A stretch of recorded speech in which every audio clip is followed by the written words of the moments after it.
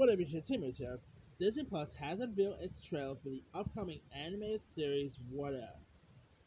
Now, What If, uh, you know, pretty much uh features, you know, um, shows the shows off the uh, multiverse of infinity uh, possibilities.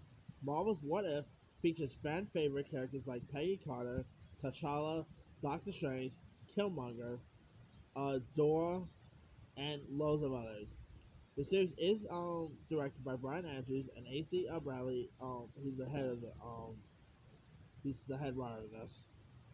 Uh, most notably, uh, Marvel's What If will feature the late uh, the late actor Chadwick Boseman, who will be uh, reprising his role as T'Challa for one last uh for one more last time.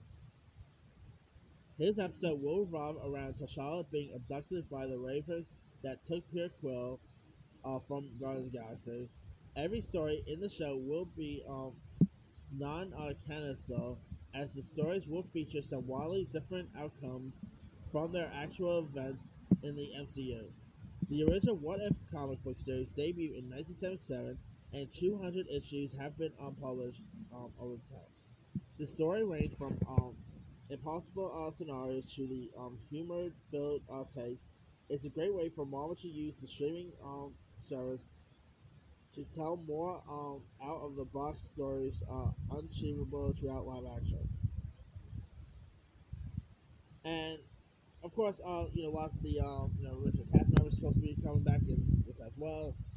So anyway, I gotta say, this trailer looks pretty intriguing. I mean, uh, you know, of course, uh, they're supposed to have uh, you know, like zombies and a chip from what I've been um, hearing. Uh, I mean, got loads of uh, you know MCU actors reprising their vocal cords. I'm not sure if uh, Robert Downey Jr. is there, so I gotta check that. But uh, anyway, this pretty much changed. This pretty much I could say change is gonna change Marvel's uh, history in a way. But man, it looks intriguing. The animation style looks cool.